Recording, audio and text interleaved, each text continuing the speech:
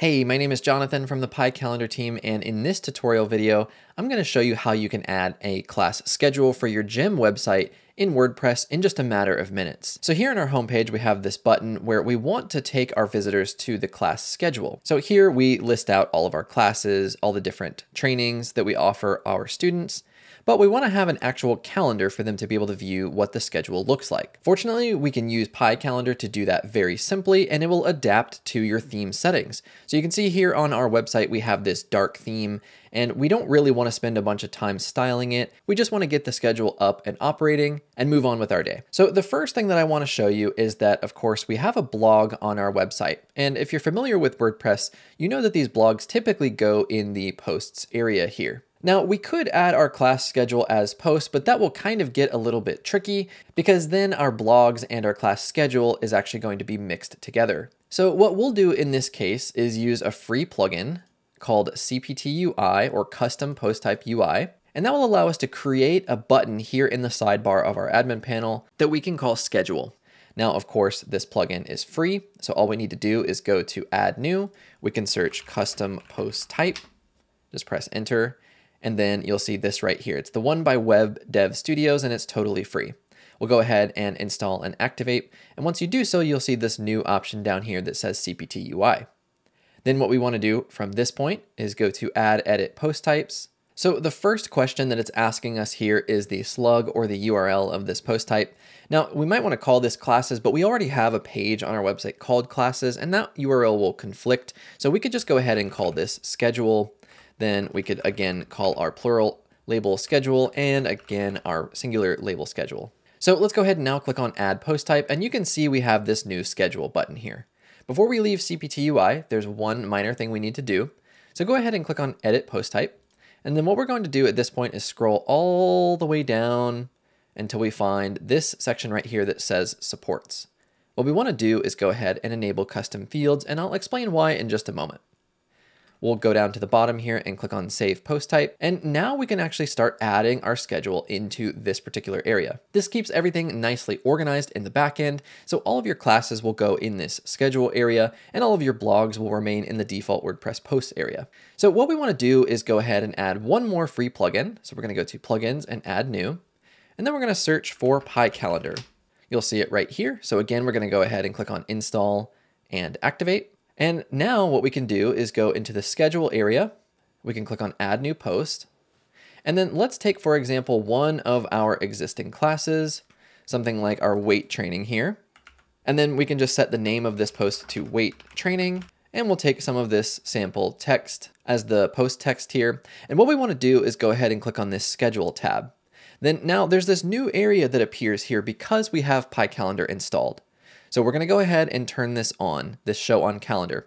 Now, the reason why just a moment ago I had you scroll all the way down in that long menu to the supports custom fields and turn that on is because that is how we can enable the calendar settings to appear here. If you're using a custom post type like we just created and you don't turn that on, you'll find the calendar option does not appear. So let's say our weight training happens this Friday at 9 a.m. And then we can even set an end date to again Friday at let's say 10 15 a.m. Now let's publish this post and let's go create one more. This one we'll call step aerobics, step aerobics like that. And again, we'll just pop in the sample text. And then for this schedule, let's say that this happens the next Tuesday. We'll say this one is going to happen at, we'll say the start time is going to be at 3.30 p.m and then it will run until 5 p.m. like that. Again, we'll just go ahead and publish this post. And now we're ready to actually get the calendar present on this page. So let's go ahead and from this screen here, we can just click on edit page. What we'll do is expand our sidebar and you can lay this out however you want. But in my case, what I'm going to do is duplicate this heading. I'm going to change this headline to class schedule. And then beneath this, and now what I'm going to do is insert the Pie Calendar shortcode. So you can either add the Gutenberg shortcode element, or you can just simply type in open bracket piecal close bracket like that. We'll go ahead and update this. And again, we'll view this class schedule on the front end and you can see here is our class schedule. And as you can see, it's adapted to our theme. So we have the orange color and the black background automatically inherited from our theme styles. Then, of course, here are the two events we created. So we have our 9 a.m. weight training class. We can click through to actually view the post, or we can go take a look at the other one. So 3.30 p.m. step aerobics. You can see it also shows our start date and time here as well as the end date and time that we set. Now, for those of you that aren't in the US or in other parts of the world where date formats don't match what we use here in the US, this setting is actually automatically inherited from your WordPress setting. So if we were to go back to WordPress, and let's say, for instance, we changed our site language to English UK. If we go ahead and save this, you'll see that it changes our date and time format.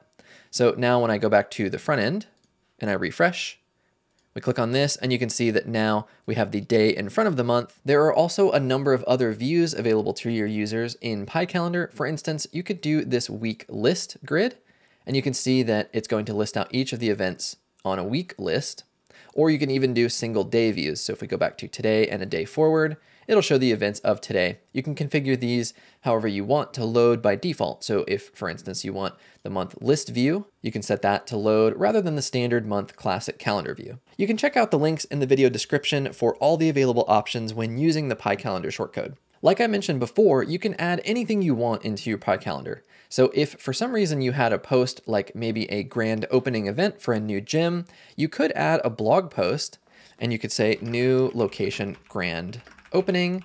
You can add the text, you know, come out and visit us. And then for our post, we can also turn this into a calendar event as well. So maybe your party is going to be on Saturday the 30th, and it's going to start at let's say 5 p.m. You're not required to put an end date on your posts, so let's go ahead and click on publish. And if we refresh this pie PyCalendar here, you can see that our new location grand opening is showing on our calendar exactly as we intended. Also, you'll notice that here the calendar has changed because of the fact that I changed my language to English UK. The week now starts on Monday and it ends on Sunday. So I'll go ahead and switch mine back to English US and we'll see that again, the calendar changes accordingly on the front end. So now our week starts on Sunday. So there we go. The new location grand opening post is now showing on Saturday, exactly as we intended. So just to recap, we created a custom post type using a plugin called CPT UI, and we also used the free version of Pie Calendar to create our class schedule on our gem website. There are many more options available in Pie Calendar Pro, such as recurring events. So if you're interested, check out the links in the description below to visit our website at piecalendar.com. If you have any questions, feel free to let us know, and I'll look forward to seeing you as a Pie Calendar user in the future.